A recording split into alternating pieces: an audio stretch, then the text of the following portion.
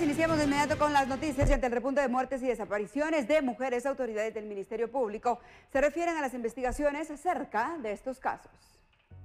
La sombra de la muerte sigue acechando al sector femenino. Es por ello que el Ministerio Público registra diariamente la desaparición de cuatro féminas. Bueno, las mujeres desaparecidas, hay un promedio estimado de cuatro mujeres desaparecidas diarias.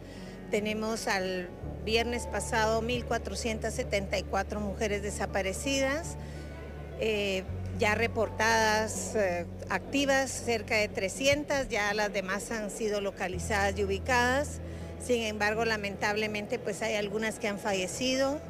Eh, se ha activado el mecanismo muy tarde y entonces muchas veces los han activado cuando ya han muerto las señoras pero también se está fortaleciendo todo el equipo de DICRI, que son los que están investigadores, y toda la Fiscalía de Femicidio, para poder abordar los temas y estas investigaciones conforme a los protocolos y para que eh, se procese y no pase lo que ha sucedido con Isabel y Claudina. El cobro de la extorsión por parte de pandillas ha elevado el peligro para el sector femenino. La tendencia mucho es pandillas, y la violencia en contra de la mujer en la parte de sus eh, convivientes, sus esposos.